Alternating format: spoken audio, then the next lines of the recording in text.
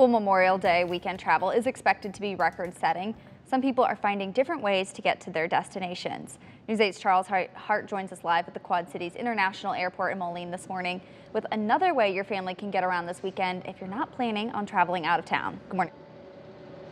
Yeah, good morning, Jenna. While the Quad Cities International Airport is expecting a busy holiday weekend, there is other ways that you can spend your time this weekend with your family if you're not traveling by plane or car, such as the Channel Cat Water Taxi kicking off its 28th season this morning at 9. You can access the taxi at its four docks, John Deere Commons in Moline, Riverbend Commons in Moline, Isle Casino Hotel in Bettendorf, excuse me, and the village of East Davenport. I spoke with Jennifer Hirsch with Metrolink, who says the Channel Cat sees around 42,000 passengers every season, and it's a great experience, not only for locals, but for visitors.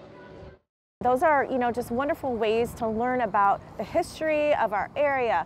Maybe you'll learn a little bit something about the river or something about the, the habitat here um, in the Quad Cities and just a great way to, to get out, enjoy the Channel Cat, but also learn a little bit more.